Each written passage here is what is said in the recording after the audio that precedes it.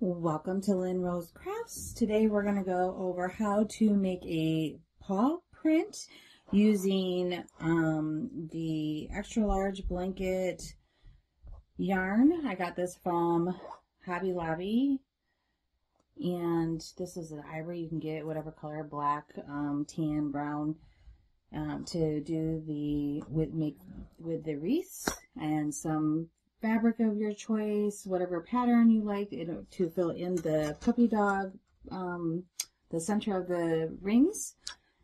You're going to need some zip ties for this project. You're going to need four of the eight inch wreaths from the dollar store and you're going to need a heart wreath from the dollar store. Now you don't have to fill in the back of these. It looks really cute without it being filled in. Um, but for me, I chose to fill them in. And then you're going to decorate um, once it's all assembled um, as you desire. So let's go ahead and get started with how um, you're going to do this project. So let me see. There you go. You're literally going to take the yarn here and the steps on this is super, super easy. Anybody could do this. This would be a great craft to do with um, children, especially because it is so, so, so easy to do.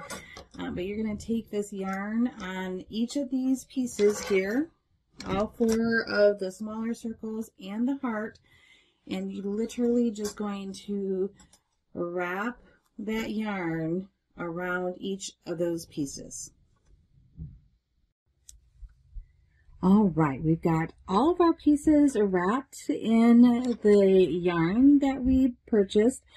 Uh, I did the, I held one end here while I wrapped it around the wreath and kind of let it dangle so that when I came around to the other side here, I actually was able to tie it. But if you um, can't do that, you can always start it by gluing that down and then when you get back around here, um, glue it again. But it worked out perfect um, on the small wreaths to where you could just put a little, tie it off in the back there. You can add a little bit of glue if you need to, but this is what they're going to be like at the end.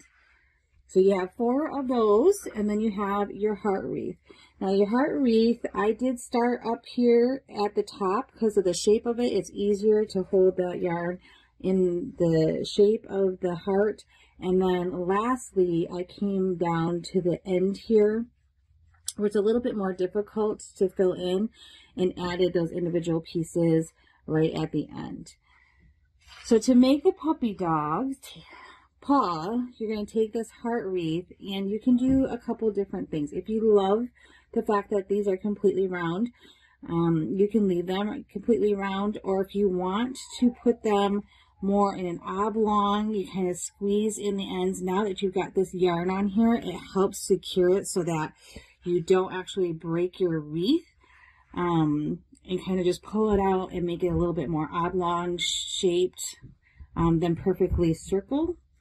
Um, that way it kind of does fit better on here when you start placing these paw prints onto this heart wreath.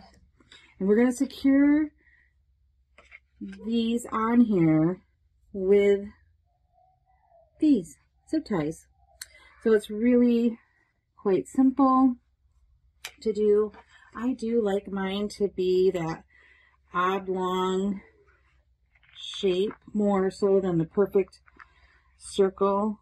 So I like to squeeze mine in a little bit. It, it makes it so that the space over here isn't, you can hear my dogs in the background, isn't such a big gap. It makes it so that they can fit in there just a little bit better, um, tighter together. You see that the space over here um, is much smaller than the space over here with it being completely in the circle.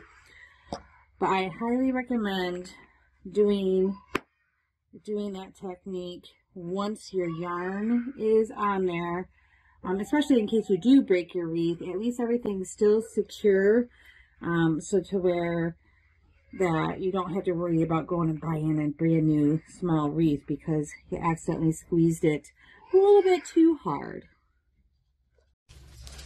All right, we're going to flip these over here to secure it with a zip tie so that our little knobbies are on the back. We've placed all of the smaller wreaths towards the top. All right, we're going to secure this on the bottom of the wreath to the heart wreath by feeding it in through the back and then into the next part of the heart wreath and then zip tying it down.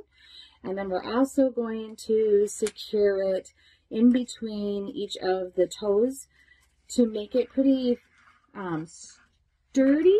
I would highly recommend doing two zip ties down here into the heart and then one to two zip ties on the toes. Okay, so we've secured all of our pieces onto our heart wreath. Uh, again, using two zip ties for sure at the base to the heart and putting one in between each of the paw prints there so that when you're done here, you've got this beautiful puppy paw. Now it is gorgeous just as it is. If you don't want to put any kind of backing on it, you want to put a decoration, then you would just go ahead and secure a hanger on here and just hang it as is because it is absolutely gorgeous just as it is.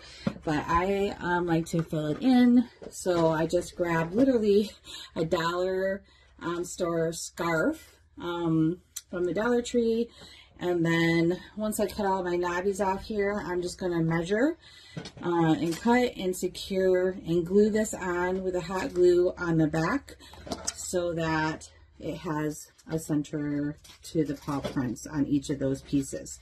And then, of course, putting on any other kind of decoration, plaque, or anything else that you would like to decorate your beautiful wreath with. Super easy, gorgeous, something for the whole family, any pretty much any age that can wrap around um, yarn around here is going to have a great time making this gorgeous wreath. Happy crafting!